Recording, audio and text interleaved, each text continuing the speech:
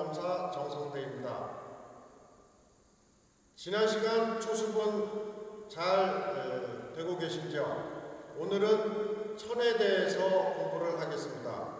천에는 네 가지가 있는데 거정세, 과자세, 과우세, 탐복세 영상을 보시고 같이 따라해 주시기 바랍니다.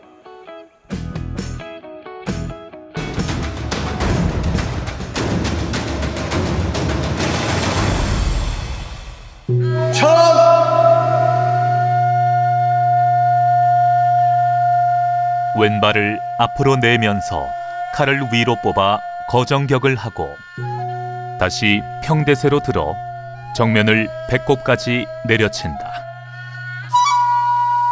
퇴보 굴란하고 납도한다.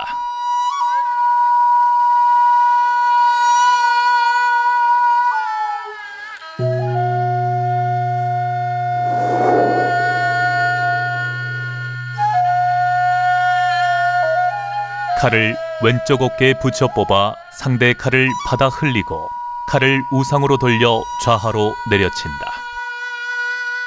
이어 앞을 향하여 쌍전한다.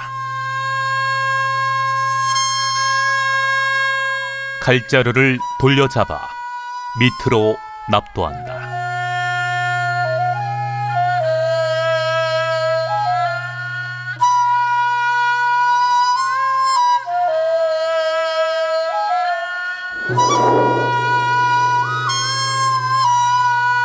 칼을 오른쪽 위로 뽑으며 좌하에서 우상으로 쳐올리고 즉시 오른쪽으로 돌며 좌상에서 우하로 내려친다. 곧 칼을 오른쪽 허리에 붙였다가 횡격한다. 칼자루를 돌려잡아 밑으로 납도한다.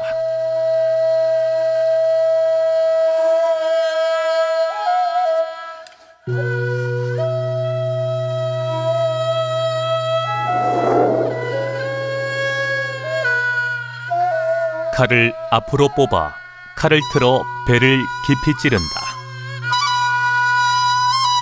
다시 왼쪽 어깨에 칼을 매어 좌상에서 우하로 내려친다.